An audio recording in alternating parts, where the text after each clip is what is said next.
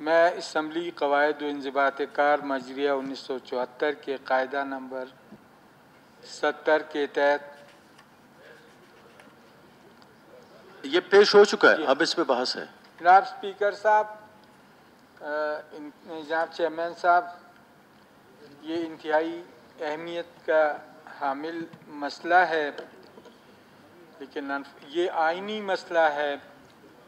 ये state organs की duty का मसला है। ये हुकूमत की आइनी ज़िम्मेदारी का मसला है।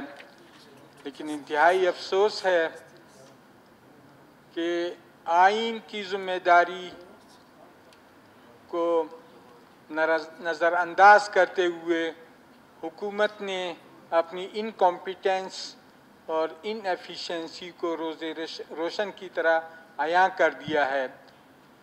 इस तरह लगता है कि हुकूमत मदहोश है और जब कोई होश में नहीं होता तो हर गलत काम का उसको पता भी नहीं चलता कि मैं सही कर रहा हूँ या गलत कर रहा हूँ।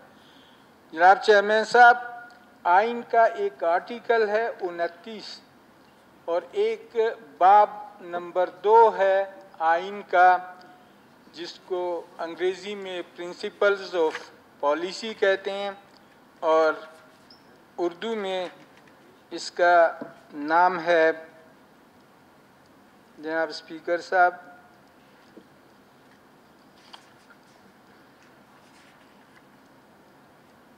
हमत अमली हमत अमली के असूल इसका जनाब, चूँकि मैंने पहले अर्ज़ किया कि ये खालिसता एक आइनी मसला है, एक ज़िम्मेदारी के एहसास का मसला है और ये आप देख लें जनाब चेयरमैन साहब, यहाँ आइन की खुल्लम खुल्ला खिलाफ वर्जी हो रही है, जिसको आर्टिकल सिक्स में जाकर गिना जा सकता है।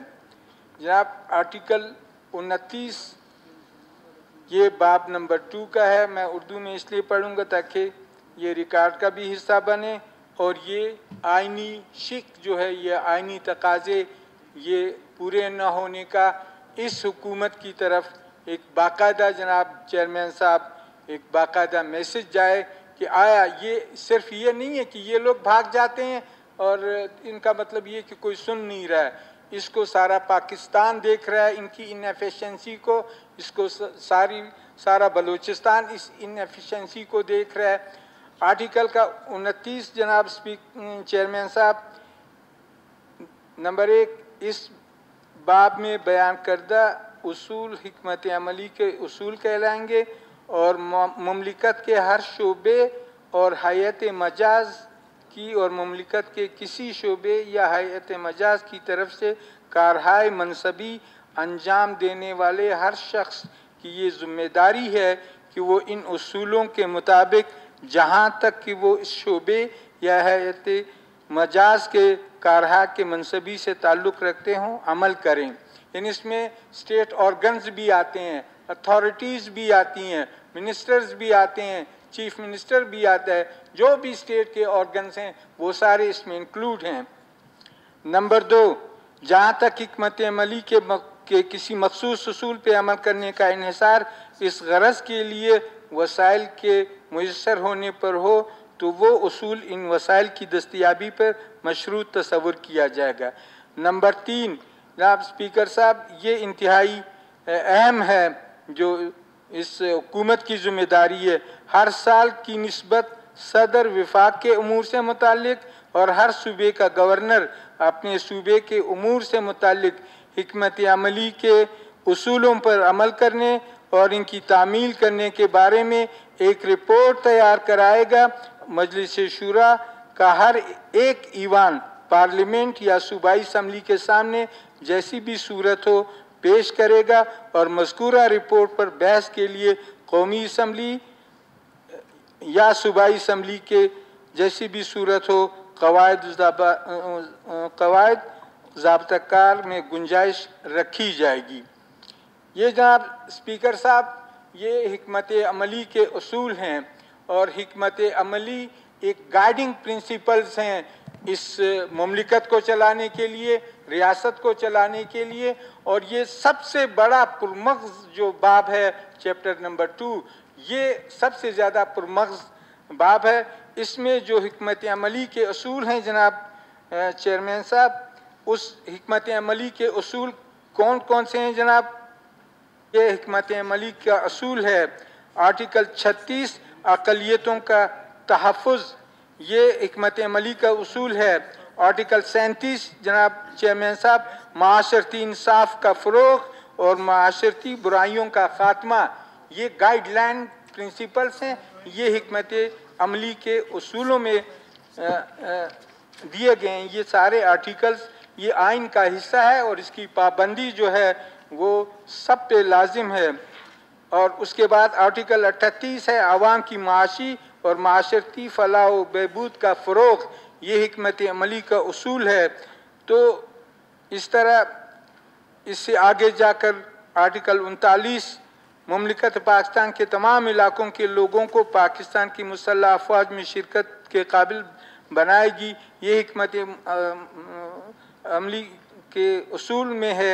आर्टिकल चालीस आलम इस्लाम से रिश्ते उसवार करना और बैन अवी अमन को फ़रोग देना। ये हमत अमली के असूल हैं, ये गाइडिंग प्रिंसिपल्स हैं एक ममलिकत के लिए, एक रियासत के लिए, एक हुकूमत के लिए कि हुकूमत ये जो हमत अमली के असूल अपनाएगी, तब जाकर वो इस ममलिकत को एक पायदार ममलिकत के तौर पे चलाएगी। तो जो आर्टिकल उनतीस तीन है, उसकी खिलाफ वर्जी बिल्कुल यानी बगैर किसी शक को शुबे की हुई है कोई रिपोर्ट ये दो साल तो हम हमें यहाँ हुए हैं कोई रिपोर्ट पेश नहीं हुई है इससे पहले भी आप रहे हैं आ, मेरे ख्याल में अब तक इस आइनी और दस्तूरी जबतों के आर्टिकल्स की बरमला वायलेशन की गई है जिसमें ये ये आइन से गद्दारी के जुमन में आता है और आइन से गदारी जनाब, एक बहुत बड़ा जुर्म है जनाब चेयरमैन साहब। ये अगर आइन से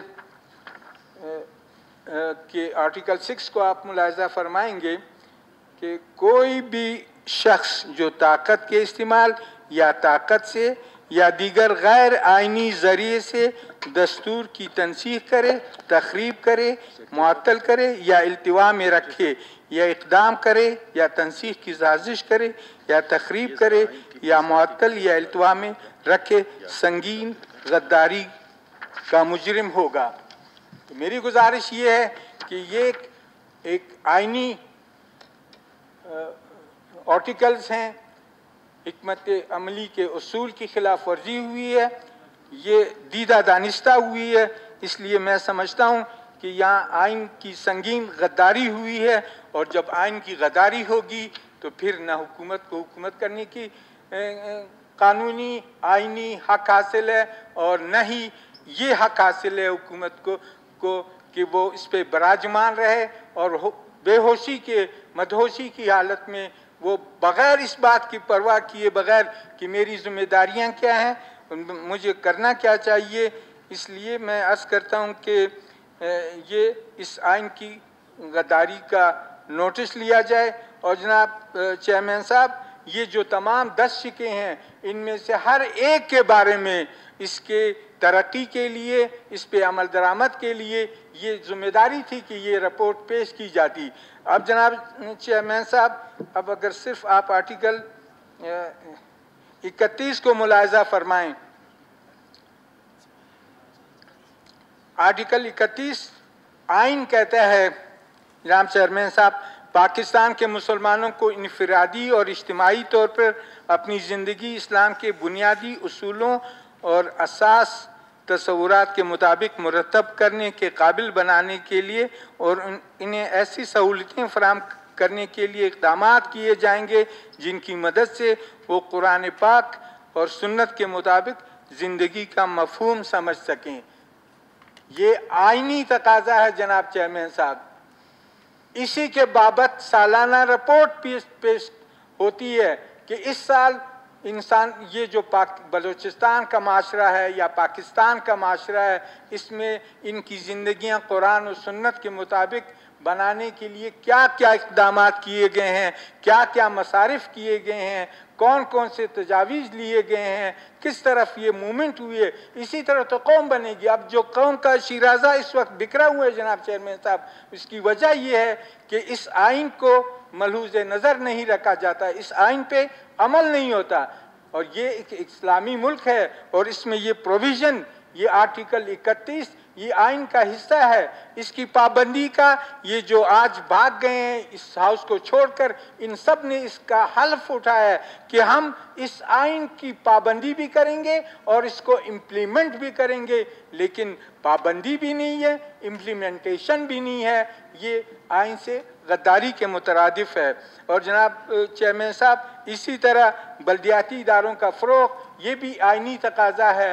औरतों को अमली ज़िंदगी में मुकम्मल शिरकत, इसके लिए कौन सी रिपोर्ट अब तक पेश हुई है, जिसमें कहा गया हो कि इस तरह ये इकदाम ये मनसूबा साजी हमने की है, ये प्लानिंग हमने की है, ये तरीक़ाकार हमने वजह किया इसी तरह, जनाब चेयरमैन साहब, अगर आप देख लीजिए कि जो इलाकई और दीगर ममासिल तसुबात है, कौमी वहदत को यकजा करने के लिए ये ये आइन की, के पासदारों के, आइन के तहत हल्फ उठाने वालों की ज़िम्मेदारी है, हुकूमत करने वालों की ज़िम्मेदारी है कि वो इस पूरे पाकिस्तान में तासुबात से पाक पाकिस्तान बनाए और पूरे बलूचिस्तान में तासुबात से पाक बलूचिस्तान बनाए। इसके लिए क्या खाका उन्होंने आज तक पेश किया है? उसके लिए कौन सी रिपोर्ट यहाँ जनाब के सामने आई है? और कौन सी रिपोर्ट इसम्बली के सामने पेश हुई है? ये आइन की खिलाफ वर्जी की गई है और आइन से गद्दारी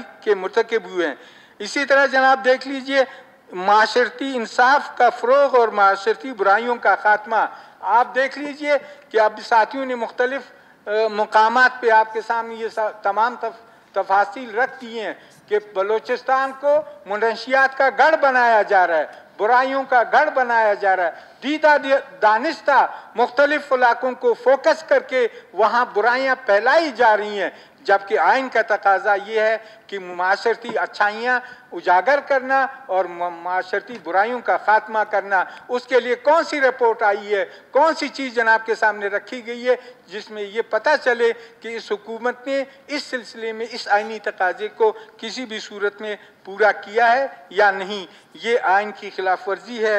ये इसी तरह जनाब, आवाम की माशी और माशरती फलाह बहबूद का फ़रोग कौन सा कौन सा मंसूबा, कौन सी रिपोर्ट आई है कि बलूचिस्तान के आवाम की माशी हालत को बेहतर बनाने के लिए सिर्फ़ महँगाई है, वो आसमान पे है, गरीब जो है, वो गरीब ज़मीन के अंदर जा रहा जो अमीर है, वो उड़ रहा आसमान में। दरमियान से जो मुतवसत तबका है, उसका मुकम्मल खात्मा हो गया है। अब ये क्या पॉलिसी ये लाए हैं? किस पॉलिसी पे वो बात, कोई पॉलिसी जनाब के सामने लाई गई है, हाउस के सामने ये कोई पॉलिसी लाई गई है तो इसलिए ये इंतहाई ज़रूरी है कि इस पर इकदाम हो, होते तो आज ये मुसीबत न होती। और अगर ये सारी आइनी पाबंदियाँ या आइनी तकाजे पूरे किए जाते तो ये लोगों की जो महरूमियाँ हैं, लोगों की की जो तकालीफ हैं, वो रफा होती। तो मैं जनाब से एक गुजारिश करूँगा जनाब चेयरमैन साहब, इन इन हालात में जब अपेरेंटली इसमें किसी एविडेंस की भी ज़रूरत नहीं है, इसमें किसी दूसरी सोच की भी ज़रूरत नहीं है, ये आइन है, ये इनके की जिम्मेदारियाँ थी, ये पूरी नहीं हुई है रिपोर्ट कोई पेश नहीं हुआ है, कितने सालों से नहीं हुआ है, ये जनाब के सामने है। तो मैं जनाब की खिदमत में अर्ज़ करूँगा कि जनाब एक कमेटी कॉन्स्टिट्यूट फरमाएँ ताकि वो ये पता, ये तहकीक करें कि दोनों तरफ़ से अरकान हों ट्रेजरी बेंचेस के भी हों और अपोजिशन के भी हों, ताकि वो ये, इसका ये तरीक़ाकार क्यों, अब तक रिपोर्ट क्यों पेश नहीं हुई? नंबर एक. नंबर दो ये है कि हमत अमली के असूल जो हैं प्रिंसिपल्स ऑफ़ पॉलिसी इस पे अमल दरामद के लिए क्या क्या तरीक़ाकार होना चाहिए? और हुकूमत से कहा जाए कि रिपोर्ट क्यों नहीं पेश की गई? और इस रिपोर्ट पेश न करने की पादाश में जो आइन की खिलाफ वर्जी हुई है, उसकी सज़ा होनी चाहिए।